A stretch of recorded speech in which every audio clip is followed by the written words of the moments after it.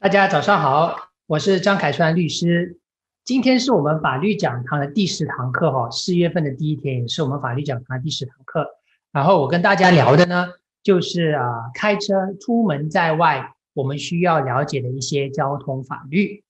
驾车人士须知之路路交通法律。当然，我的车不只是汽车啊、摩托车啊，甚至是自行车哈，只要你只是走走在道路上呢。就一些交通法律呢，如果你们知道的话，是可以保护自己的权益的。如果真的遇到了什么意外，或者是你身边的人遇到了什么意外，至少你们呢还会知道，哎，法律是怎么样的，怎么样能够保护你们自己。这就是今天我要跟大家聊的话题——交通法律。好的啊，首先呢，我们知道啊，出门在外遇到在交通上面，如果不幸发生了车祸，你应该怎么办？其实我们哈现在是呃怎么讲呢？有时候意外难免的，就有时候可能你开车开到一半，突然之间后面的摩托车它撞了上来，这是始料未及的事情。或者有时候你自己的精神不好，眼睛累了，你打盹了一下，眯了一下，你的车就不小心撞到了前面的车。又或者是我们马来西亚常常下雨嘛，是最近也是雨季嘛，每天都下大雨。那雨天路滑，你的那个呃车开的也比较快，然后轮胎可能那个花纹也旧了，没有去换。然后不小心呢，你就，啊，车就失去了控制，撞去了旁边大树。这个时候呢，你应该怎么办？所以，如果你们这个时候知道一些呃陆路交通法律，可能你们就知道应该怎么办。所以在这里我会跟大家分享一下，遇到了车祸不幸发生的车祸，应该要怎么办。好的，总共大概有五五六点哈，就是重要的步骤哈。当然，遇到了车祸，你必须要冷静的面对啦，保持冷静哈，要检查自己有没有受伤，有什么伤势。然后可能车祸你是在路中间嘛？如果你是撞到前面的车，或者是后面有摩托车撞到你，你是在路中间，可能你会造成交通阻塞。然后如果你没有把你的车子移到路边的话，可能会有很大的危险，后面车可能没有发现到你，可能还会再撞上来。所以检查自己没有受伤了以后呢，小心的把车子移到路边，避免再次发生车祸。第一点是非常重要的，要冷静哈。当然啊，你要观察四周哈，因为你知道马来西亚治安有时候并不是太好。可能后面的车是假车祸，他就是故意撞上你，然后呢，其实是要抢劫，所以你要关注四周哦，不要贸贸然的下车哈，看看看四周是不是有什么啊不一样的情况，然后才下车哈，确定不是假车祸才下车。第三点很重要的哈，拍照记录哈，发生车祸我们一定要拍照记录。嗯，当然，今天我讲说第一点就是对方嘛，就是双方面发生车祸嘛。如果真的发生车祸了，你可能会要求要记录对方的身份证啊、驾证或者车牌号码。当然不是每个人愿意把身份证交给你的啦。如果他愿意的话，那就好；如果不愿意的话，至少你可以把他的车牌号码记录下来。对于之后啊，如果你要索赔保险啊，还是报案啊，都是非常重要的。然后你也得记录你的车祸状况啊，就是你。发生车祸的地方，你要拍摄下来。你自己有没有受伤，或者对方有没有受伤，你要拍照做记录，记录，然后要跟对方呃交换联系方式啊。因为啊，这一点是很重要的。不管你以后有没有索赔车祸，还是如果你是自己私自啊 settle，就是私自私了了哈，没有去报警，也没有去报险索赔保险的话，你至少也要有一个证据嘛，证据的当时是发生什么情况，车祸严不严重，然后有没有人受伤。发生车祸地点等等，这些都是非常重要的。当然，换联系方式也是很重要的，因为你不知道之后对方他会不会去报警，他会不会去做什么事情，所以你们要联系好来，证据拍摄下来，这样子是对双方的一种保障。第四点哈，很重要的一点，协商索赔。发生车祸，你撞到了他，或者他撞到了你，肯定汽车就是会受到损伤嘛，或者是会受到受伤等等，这些都会有索赔的那个成分在里面。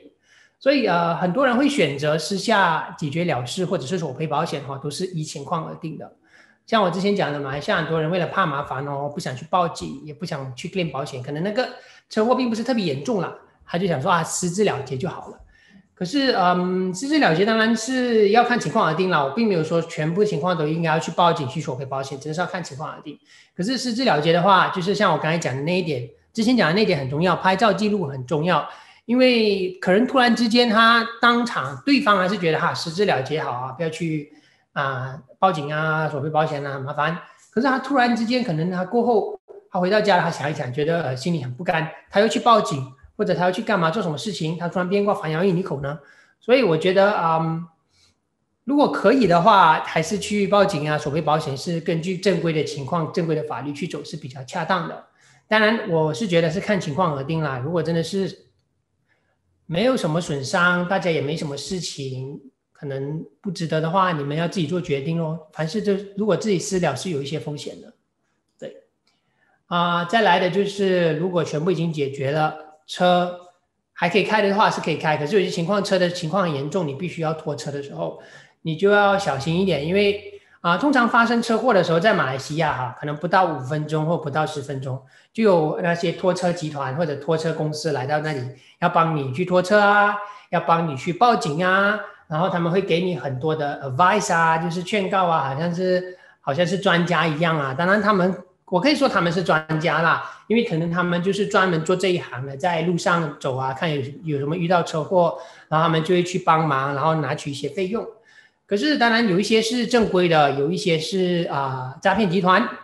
他们就是帮你拖了车，然后敲诈你、勒索你，就是不需要这么贵的价钱，他们跟你说非常非常贵的价钱，然后敲诈你一笔。所以啊，如果你要找正规的拖车公司呢，你可以打电话给你的保险公司或者打电话给你保险经纪啊，他们就会给你一些啊拖车服务。有一些保险公司呢，应该是会提供免费的拖车服务的，所以看你购买的保险公司是怎么样的，配套是怎。所以还是根据正规的公司是比较恰当的，比较安全的。最后了，如果你决定要去索赔保险，你要去警局报案，你就要去警察局了。然后根据啊《陆路交通法令》哈第五十二条文啊，如果发生了车祸，二十四小时之内呢就必须去报警。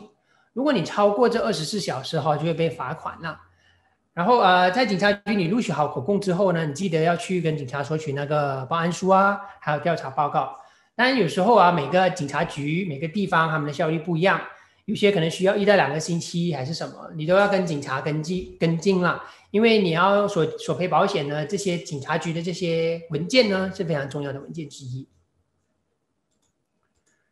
OK，这六个步骤呢，就是啊，遇到车祸的时候呢，你们应该注意、应该要采取的一些重要步骤。那么我现在就要来聊一些诉讼所长。法律责任还有什么样的援助可以帮助到你们？如果遇到了车祸啊，我首先来聊的是民事诉讼所长。很多时候呢，保险呢，当然每个配套不一样啦，你购买的配套保险配套都不一样。我我不能够说它是怎么样，就是看你买的那个保险配套是怎么样的。因为啊，保险呢通常是只能够赔偿你修车的费用。如果呢你受害者的伤势是非常严重的，残障啊，不能够走路啦，或者是。生命接近遇到了危险啊，这个时候呢，你可以考虑呢，请律师呢把那个肇祸者、肇事者哈告上法庭，索取其他的费用。啊，如果是这种受伤啊，导致你很严重，比如说丧失了工作的能力啊，还有一些身体上面的残障啊，如果你请律师哈，是可以除了赔偿你那些医院的住院费用。还可以平常你因为这场车祸损失了你的工作能力、你的薪水，然后你的啊你的那个个人的那个那个怎么样，就是正常的生活不能够享有正常生活的权利呢？这些都能够以金钱的方式去赔偿给受害者的。所以如果真的是非常严重的车祸，可以考虑采取民事诉讼所偿哈。在民事诉讼的所偿程序呢，这个伤者呢就必须要收集那些。入院治疗所有的收据哦，要收集起来，会交给律师。然后，当然，律师他会去跟那个啊医院呢，或者是医生呢，索取那个医疗报告，然后根据你您的伤势内容呢进行索赔。像我刚刚讲过的，如果是在车祸中丧失工作能力、瘫痪，甚至是死亡等等，啊，律师呢可能能够为伤者或者是死者家属呢索取更高更高的赔偿。然后呢，在马来西亚呢这一方面的。律师他们的收费呢？我不敢说每一个律师都是这样啊，蛮多的律师呢，这种啊车祸伤受伤的这种律师费呢，他们是索取就是可能一开始他们只是收一些简单的一些 disbursement 的费用，一些杂费而已。如果真正的索偿成功了，律师就会跟你讲，哎，对方要赔偿你的多少钱，他就是哪一个百分比。来当做自己的律师费啊！我这个只是给个比喻而已哈。有些律师是这样子做的，但是不是所有律师都是这样子的。所以这也是你们以后可以啊，如果遇到如果有人遇到这种方面的问题呢，律师费是有些的律师是这样子收费的。好的，我另外来聊的就是一些免费医药费的援助，一些特殊的情况啊，比如说是被摩托车撞啊，你的你的车的保险你过期了没有 renew，或者对方的车的保险过去也没有 renew，索赔保险就是不能哦，无门失败了。然后呃，有没有钱请律师打官司？这个时候可以向一个 MIB 哈，Motor Insurance Bureau of West Malaysia 索取医药费。然后他的部门联系电话呢，我是放在这里哈。大家如果有遇到这方面的那个情况呢，可以向他们寻求援助。然后我现在再来聊的就是刑事责任哈。我们马来西亚的车祸死亡率呢，可以说是居高不下。总检察署呢，可以援引。刑事法律来对付对付这些触犯交通肇事罪的人士，所以如果是一些危险车祸导致死亡的了，除了保险公司要做出赔偿之外，肇事者也得负上刑事责任。所以我先跟大家聊的是《陆路交通法》哈，一九八七年的，我会来聊一些比较常见的一些违法的一些刑罚是怎么样的。第一个哈，如果是危险驾驶导致车祸死亡者，监禁可以五到十年，罚款。几万令吉，然后吊销执照，所以也是蛮严重的。当然啊，马来西亚我们也看很多社会新闻啊，有一些就是真的是啊危险驾驶导致很多人生命啊离开了，所以这是很重要的一点，大家出门在外开车要小心哈。第二点就是鲁莽或危险驾驶者也是会被判追监禁，我们要导致死亡也会被判监禁，也会导致罚款。从犯者的监禁最高可以到十年，以及吊销执照。啊，第三点就是疏忽啊、不礼让驾驶啊，没这么严重的，可是也是会被判监禁啊，不超过一年，罚款还有吊销执照。然后啊，应该是在去年马来西亚更改了这个我们叫呃陆路交通法，对于醉酒驾驶、喝酒后驾驶哦，它的刑罚呢已经提高了很多了。所以你看哈，这里他就是说到，如果是醉酒啊、酒精后驾驶呢，导致别人死亡哈。判处监禁最高可以到十五年哦，所以是是比前面的那些的情况还来的更高，罚款还可以到十万令吉，吊销执照是十年，所以这样子看起来哈，醉酒驾驶的那个刑罚是非常非常高的，呃，然后没有导致人死亡的话，也是要罚款及监禁，所以还是非常严重的。所以我觉得去年更改这个交通法律后，我们的交通部更改这个法律其实是挺好的，就是因为可能发现我们马来西亚这几年太多人。就是不负责任啊，喝了酒驾驶，导致别人受伤甚至是死亡等等。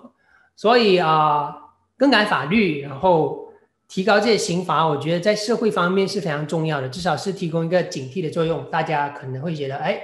如果真的是喝酒的话，可能就不驾驶，做 Grab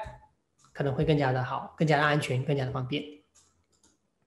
OK。我刚刚之前讲的是自己出门在外开车啊，或者是什么遇到了交通意外，然后有些时候呢是别人的因素，也不是驾驶其他的车、其他的驾驶人士、公路使用者造成跟我们一起相撞造成的意外，有些时候是我们的路路、我们的马路有洞、有路坑哈。我们知道哈，在大马其实应该算是比较进步了啦，可是我们都在这里生活了这么多年，有一些地方的路哈，就真的是很多坑坑坑洞洞的哈。不过我觉得我们其实西马还蛮好的啦，我本身有去过东马，其实东马的陆路交通没有西马的发展来的更好，所以我觉得西马是 OK 的，还需要进步的空间啊。那如果是因为我们今天出门在外，那个路上的坑洞，你是开摩托，突然之间你嘣撞到那个路洞，然后你跌倒，你受伤。这个时候怎么办？不是别的车撞到你，不是别的公路使用者撞到你，而是那条路、那条马路有个大洞，让你的车进去或者摩托车进去受伤，你有什么权益呢？其实呢，根据我们的一九七四年哈《道路沟渠及建筑物法令》之下，人民呢是有权向政府部门哈，通常是市政局的啊，采取民事诉讼索赔，时限是意外发生后的三年以内。嗯。这个呢，为什么是三年以内呢？就是啊，我们今天如果你要采取民事诉讼哈，我们有一个就是叫实现法令，任何的比如说啊合约啊，或者是租赁合约啊，或者是买卖合约啊，或者是你那些买卖货物的合约啊，都有一个时效，你要控告别人，要跟别人索赔是六年哈。事件发生的六年之后，你就必须索赔。这就是我们啊控告别人，就是正常的情况、普通的情况之下。如果今天你要控告的是政府，我们政府有另外一个法令是专门就是啊控制政府的，三年之内你要控告政府，只有三年，没有六年哈。当然还有一些啊其他的那些东西，就比如说，今天我们不不不是告政府哈，我们是告一个商家，告一个别人，告一个 individual，告告别人。你如果拿到了那个法庭停令，他还是不给你钱，你可以怎么办？我们可以是说去执行那个停令。你可以啊，如果是人，你可以说我要让他破产啊；如果是公司，我可能要清盘那间公司啊。这种我们叫执行停令。对于政府呢是没有办法执行停令的。这个这个那个理由是什么呢？因为政府肯定会给你钱，所以你不可以讲说啊，今天我要去冻冻结政府的银行户口来还我钱，今天我要去啊拍卖政府的资产来还我钱，是不可以的哈。因为政府一定会给钱。你可以告政府，可是不能够去执行那个停令，就是说你停令交给了政府，政府就会给你钱了。所以这是关于政府一些特定的法律时效不一样，执行法令是不一样的。很多人可能会觉得，哎呀，我一个小小的市民，我无依无靠，我又不是大多势力，又不是单势力，我没有权没有势，我怎么可能去告政府？告政府一定输的。可是其实不是这样子讲的哈。我就来分享一些成功的案例，也就是这个道路工工工程意外的案例。其实成功的案例还是蛮多的。就在槟城哈，有一个摩托车哈，应该是在二零零九年发生的一个意外。它是在槟城，应该是 George Town 吧？它还不是 George Town，应该是槟城的一个小小小地方。它就是就是经过那路坑哈，就撞到了路坑，然后整个人跌倒受伤。他这个案件哈是是呃被告到上诉庭，就是他在。呃，那个 session court 的时候，地方法庭的时候，他输了，那个小市民输了，一直上诉上诉，到上诉庭终于赢了，最高的法庭宣判受害者胜诉，政府必须要赔钱，所以并不是代表政府一定赢了哈。马来西亚的制度是三权分立，judiciary、executive、legislative，就是司法，然后 executive 就是我们讲说政府嘛，legislation 就是那个啊，我们的国会议员他们去制定法律的人，三权分立。三者互不相干，所以政府没有办法去啊控制或者去影响司法，所以司法是公平、公正、独立的，不代表你告政府，政府就一定赢。这个案例就告诉你了，如果真的是啊疏忽，如果真的是市政局的疏忽，没有去好好的那个维修那个道路的话，人民呢是有权利去控告政府的，而且有权利胜诉的。再来就是小阿拉姆高庭哈。之前我讲的槟城那个案例是马来西亚人去控告政府，这个呢是外国公民哈，巴基斯坦的公民呢，他去所偿啊五万令吉，也是因为这个道路坑洞的这个原因受伤，也是赢了，这是在高庭，是在沙浪沙亚南，所以没有说包赢，没有说政府去案例是包赢的。今天我们讲交通法。政府也会输。我们讲今天有人去控告教育部，控告什么交通部门，他们也有输的经历，所以不一定是呢小市民是无法啊控控告政府，然后无法胜诉的。所以只要你是有证据，只要事实是在你那一边，所以不要害怕维护你自己的权益啊。就算是政府，我们也能够是根据情况呢去进行控诉。所以道路维修呢是政府啊、大道公司、市议会还有公共程工程局的责任。今天我们讲说哈，每个部门不一样。今天你是去 Highway 到 Plus Highway，那个呢是属于大道公司的，你不可能去告政府，因为大道公司是一间公司，可能它是私营的大道公司，它是私人界。那你要去控告的是去控告私人界的政府，那就私人界的公司哈，不是政府。当然有些大道公司是联营的，政府跟私人界联营的，你要去控告不同的机构哈。所以。通常是市议会啦。如果你是在吉隆坡 DBKL，你是在 PJ、MPPJ 这些要靠不同的市议会，他们管辖不同的道路哈。还有中公共工程局啊。如果真的是道路失修，因为有关当局呢，他是已经违法了，或者是已经疏忽了，受害者呢是可以采取民事诉讼索赔的。你的索赔的那个金额呢，你可以所偿呢，就是比如说包括医药费啊、入院费啊、汽车维修费等等，都可以在你的所偿金额里面。好，我聊的呢是这个道路的路坑意外哈。下一个话题呢，我要聊的是最近非常 hot 的一个话题天降横祸哈，高架桥意外啊，吉隆坡特别多的高架桥，尤其是最近我们建 MRT 啊，然后很多道路啊开始做高架桥啊，因为塞车嘛。那如果是道路高架桥发生了意外呢，民众有什么权益？其实高架桥意外有很多，我们必须理清是什么样的情况。在吉隆坡呢，有发生的高架桥啊，就是卡车啊、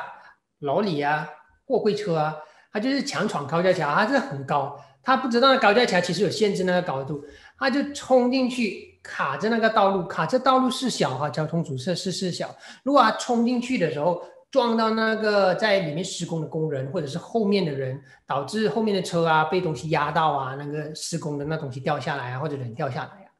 这个呢，这个时候呢。是谁造成的意外？肯定就是这个卡车司机造成的意外。所以，如果你们要采取什么呃民事诉讼是什么的，是 against 这个卡车的司机，这个货车司机，所以我们要了解是谁造成的意外，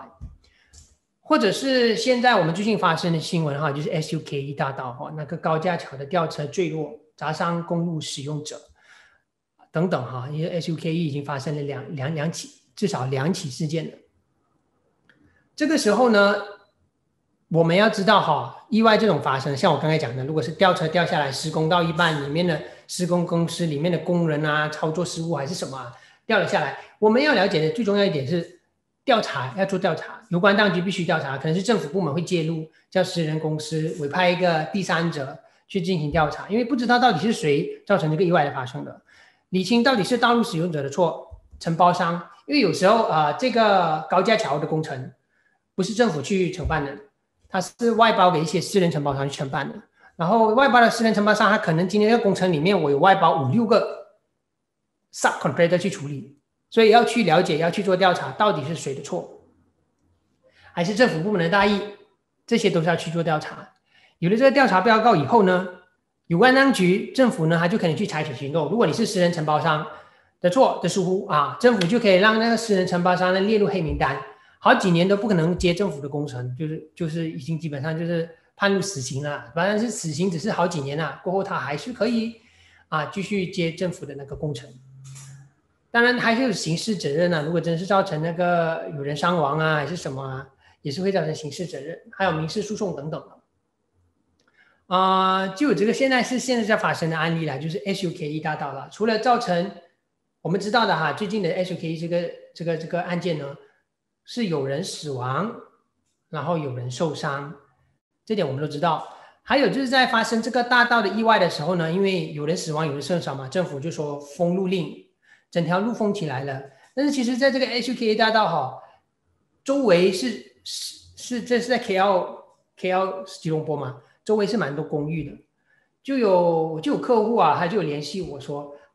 非常的不幸哦，他的公寓呢就是在这个 HKA 大道。那里整条路封了，车没有办法进去这个公寓，所以整栋公寓的居民呢，只能走路进出自己的家里。哈，这个时候他就问我了，怎么办？他们有什么权益？嗯，我们现在知道，哈，现在这个案件呢，是政府部门还在展开调查，停工令要去调查到底是谁做的失误，所以封路是势在必行的。调查还没完成，呃，就是。不能够进来，就是呃解禁这个封路令啊，所以我只可以讲，现在这这几栋公寓如果被影响的话，当然对他们是很大的影响的。他们要走，我不知道走多远，呃，对他们的那个个人生活是非常大的影响。当然这个时候呢，可能就是需要政府部门啊，我们的人民代议士啊，国州议员啊，能够协助他们啊，他们的那个公寓里面，我们之前有聊过分层管理嘛。会有那个我们叫 Joint Management Body 或者 Joint Management Committee 里面的人，他们就要代表他们公寓里面的人呢，去跟有关当局去接洽，国州议员或者政府部门跟进他们，希望他们尽快呢完成调查工作，解除封路令，让他们的公寓有一个安全的一个进出口哈。所以这一点呢，都是需要啊政府部门有关当局去协助的。当然事后如果调查令出来了，报告出来了，他们也有了证据了，这个。committee 或者是公寓的 committee 呢，或者是伤者的家属啊，他们想要采取民事诉讼索赔，这也是他们的权益。人离开了，人受伤了，然后公寓的门道路被封了，造成了这些种种的损失，都是可以向有关当局索偿的。重点就是到底要找谁索偿，这是非常重要的一点。因为我们知道哈，这一种高架桥工程哈，牵扯的那些部门、牵扯的人事太多了，要找对人人事去进行索偿。当然，我们在民事索偿里面有一个东西，就是叫做说，我们去找那个主要的肇事者。